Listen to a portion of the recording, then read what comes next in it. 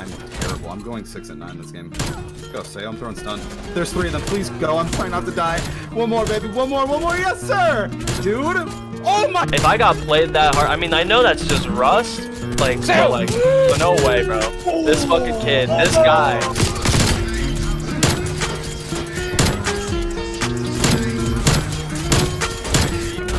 Oh my god. Go, go, go, go! I just hit a six multi.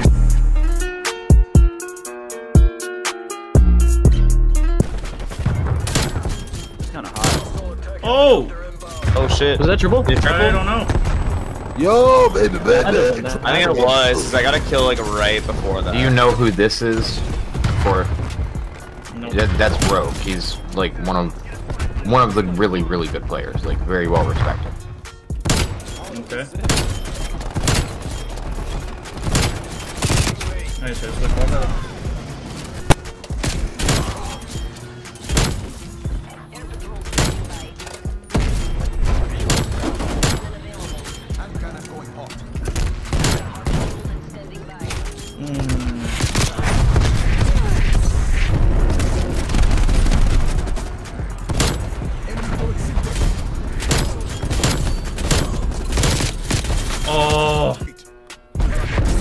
It's right here. We might get some reactions.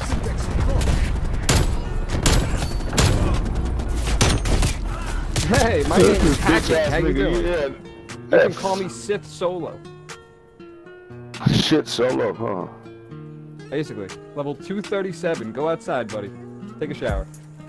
Right. Goo goo Do gaga. something with your life. Take a shower. Take a shower. Goo goo gaga. Do something. Alright, what's up guys? It's Saio. I know you're not used to the face cam in these commentaries. It's just a lot easier for me to use my OBS studio and everything to make this commentary versus just constantly shadow play recording. But also, I wanted to let you guys know that if you are watching this right now, I am more than likely live streaming on Twitch. And if you want to see me hit these highlights and stuff live, come on through. And if I'm not, I will be live shortly after this video goes up. But let's get right into the settings for this video. What I'm to do is I'm to honestly just go from left to right, from keyboard and mouse to controller. I'm to give you guys the controller settings that I personally would use as well. So, for my mouse sensitivity for my keyboard and mouse, I'm using a 4 sensitivity with 800 DPI. Now, a lot of people don't understand what DPI and everything is. So, DPI is the way that your mouse, how fast your mouse goes, not even when you're gaming. But that also does come into play when you are moving around and looking around inside a game. So I use 800 DPI. If you don't know how to do that, it should be in your mouse software and you should be able to see it. But with 4 sensitivity in game on Cold War. Then for my ADS multipliers, I'm running 0.7 on high and low. A lot of people don't understand why I do this. I just like it when it slows down a little bit when I scope it. It gives me a little bit more room to actually aim and do what I want to do. For my vehicle mouse, my tablet, uh, all this stuff is pretty much the exact same default. I have one on this, one on this. My ADS sensitivity transitioning. So basically what it will transition. So I have a 0.7 sensitivity when I'm zooming in. So it'll slow down gradually. It won't be an instant slowdown and it won't be after I zoom in. So as I'm zooming in, it'll start to slow down. Then all this stuff is pretty much default. I have the vertical sensitivity multiplier is just one, nothing happens with that. Relative ADS mouse sensitivity. I like relative more than legacy. A lot of people play legacy, but I personally like relative. And 1.33 monitor distance co coefficient. Also, my mouse acceleration, smoothing, and mouse filtering is all disabled at zero.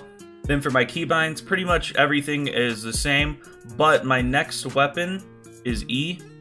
I personally like switching with E more, it makes it easier for me.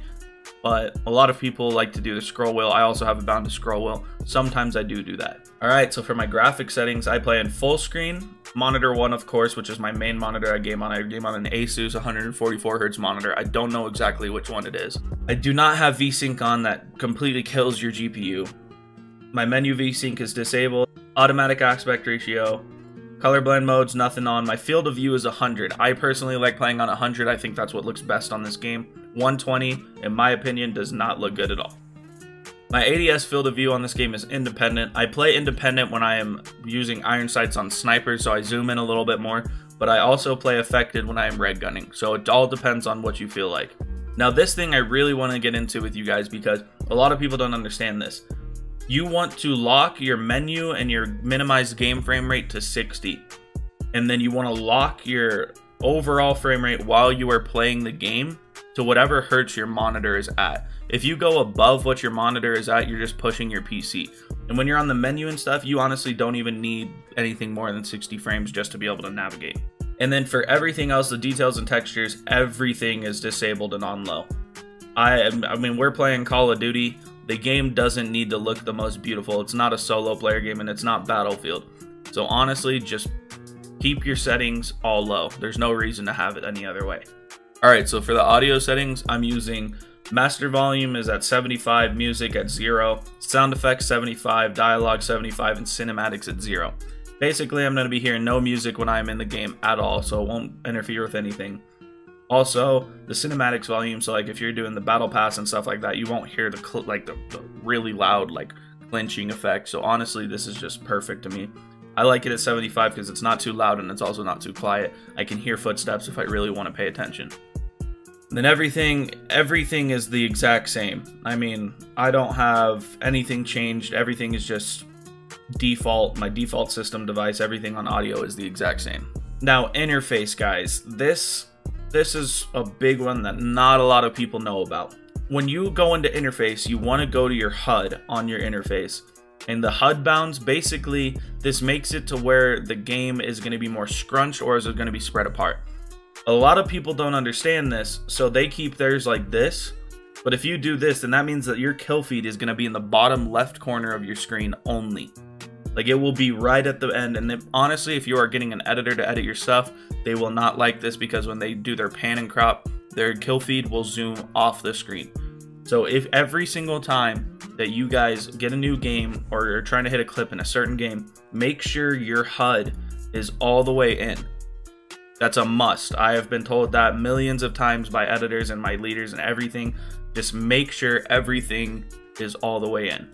And then for everything else, it's shown except the horizontal compass. You don't need the horizontal compass in this game when you're playing multiplayer. You really don't. I mean, maybe if you're playing like Outbreak Zombies, but you still have a mini map to see your friends. So I just, I hide that. There's no reason for that.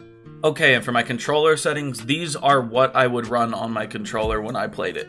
So, I would run 14 sensitivity and 13 vertical sensitivity. Personally, I've always been a high sensitivity player. I really enjoy it. My low zoom, I'm keeping at 0.7 so I can have a little bit easier of tracking while I am red gunning. Then for my ADS high zoom, I'm running one sensitivity just so I can hit those flicks if I really need to. My button layout, I love playing tactical. I don't have them flipped or anything. I always shoot with the triggers, not the bumpers. My aim response curve type, a lot of people play different things. I play standard on this game, but what if I'm playing MW, I'm playing dynamic. Honestly, it's just all preference, but I like standard on this game. My aim assist, I'm using the precision aim assist because you know it's just broken in this game. And then for my left stick and my right stick input threshold, I'm running I'm running five on that. Makes it easier to look around and it really feels like what you're doing with your thumb. And if you guys are wanting to improve your aim on keyboard and mouse, this is what I suggest. This is the scenario that I use. This is what I use when I improve my aim. I use this once or twice a day. I do it right before I hop on the game and I do it right before I go to bed. Now, I would say if you're going to do it before any time, make sure you do it before you go to bed because the most time for improvement is when you're sleeping because of that muscle memory. But yeah, guys, like I said, if you want to see all these highlights and these funny moments and stuff hit live on stream, I'm more than likely streaming right now. And if I am not, I will be live shortly after. But with that being said, guys, I really do hope you enjoyed the video. And as always, I'll see you guys next time. Peace.